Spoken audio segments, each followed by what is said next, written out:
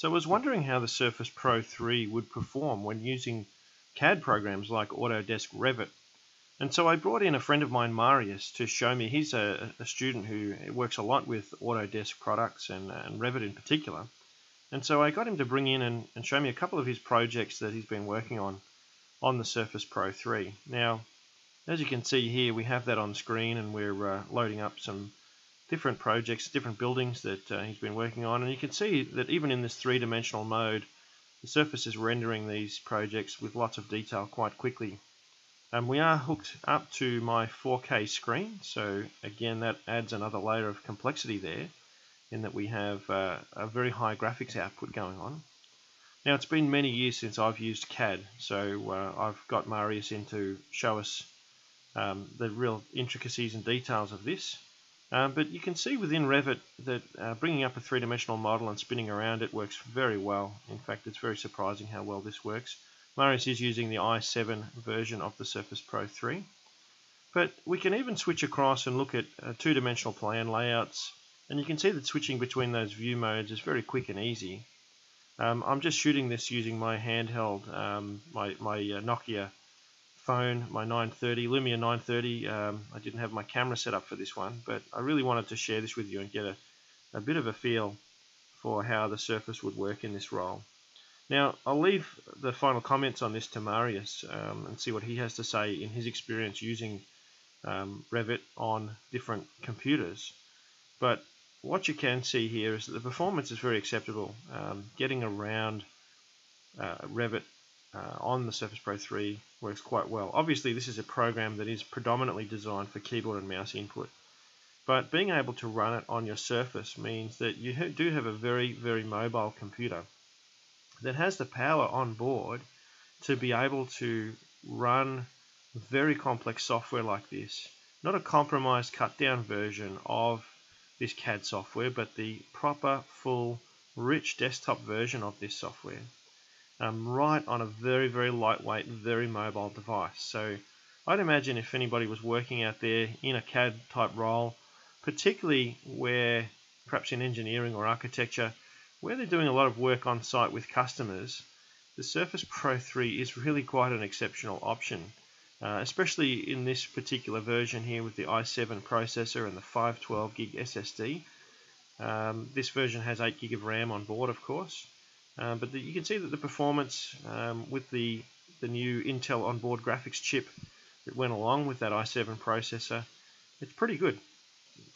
Like we said in the end of this video, it's not a CAD workstation. It's not a really high-end performance machine that's just built for that task. But what it is, again, the Surface Pro 3 being is a very mobile option uh, for doing this sort of CAD work. Um, if you like to work out of the office, um, if you are in front of customers quite a lot uh, in and out of uh, client meetings, then this may well be either a primary or a secondary computer option for you uh, to be able to do this work. And I know that certainly Marius uses this as his main computer, even though Marius um, is a bit of a Mac fan, certainly loves his iPad and all those sorts of things.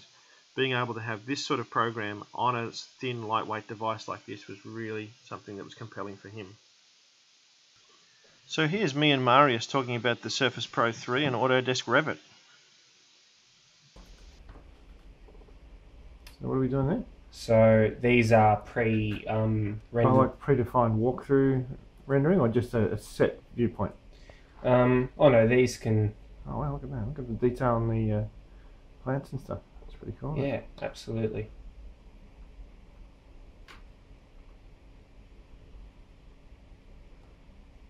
Getting a little bit slower there though, isn't it? Just a bit. As you look. So you're zooming out. Yeah. So as you do that. That's got to re-render a bit.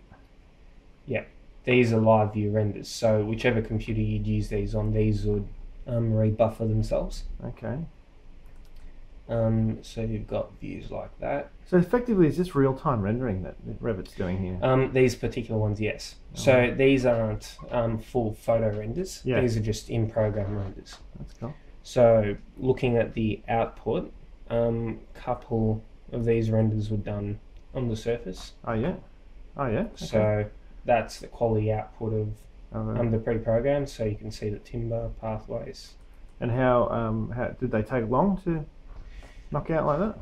Um, they do take long um, because of the quality of the program, but to compare it to another computer, Yeah. um, this was probably about an hour quicker.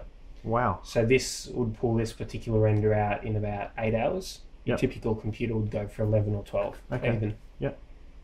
Unless you had like a high end CAD station sort of thing. Yeah, exactly. Quad quad core. Even then, these you're still looking at hours. Yep. Um, whichever way you go for something like this. Cool. Yeah, the the typical three D views um, do work quite well. So you get no problem being able to spin around your model. So if I went to realistic, um, this adds a extra layer of complexity. So Um, starts to chug a bit more. Yeah.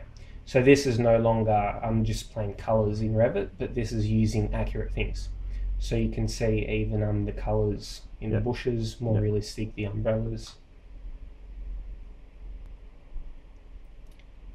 So the first half of this project was done um, on my old laptop, which was a HP. Yeah. Had about 8 gig of RAM, still had a Core i7 processor. It couldn't move. Right. Okay. Wow. So as I'm spinning this around now, even though you can see certain amounts of lag, other computers couldn't even pull this. It's pretty cool. Eh? And that had a 1 gig graphics card in it as well. Um, 2012 model computer. Okay. Okay.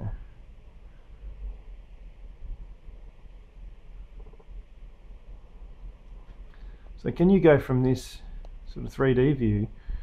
Like, can you bring up one of the floor plans or something like that? Yep. Just show us some. Absolutely.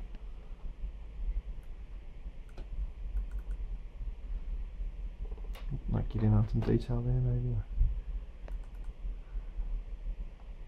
So you can zoom right in into any area of this. Um, all of this is live, so you can change um, certain walls. Um, even probably the smarter way of doing this. Um, as you go through this.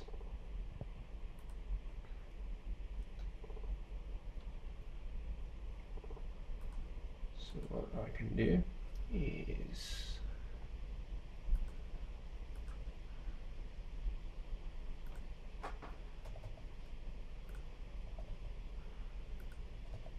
hide all of the roofs.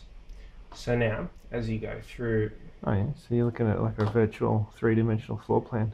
with Revit is that everything is accurately awesome. modelled inside it. Even um, the basins, the shower bases, um, bathtubs, you ever done this like in just tablet mode?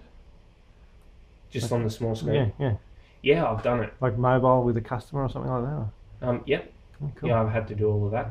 Um, admittedly, it is a bit harder to navigate. Yeah, because it's really designed around mouse and keyboard input. Yeah. Yeah, not just that, but on a 12 inch screen, your eyes start to strain just a bit. Yeah. But yeah, everything's quite accurate, um, down to the very size of the windows. mm. Yeah, quite cool stuff. That's awesome too, and, and like I love the way that that's live rendering with shadows and all that sort of stuff too. Yeah, absolutely. It's amazing. So you've got your two extremes. Um, something like this, the average computer could probably handle with Yeah. a small graphics card. Um, but at the same time, um, the Surface does probably a better job than I've seen other computers do.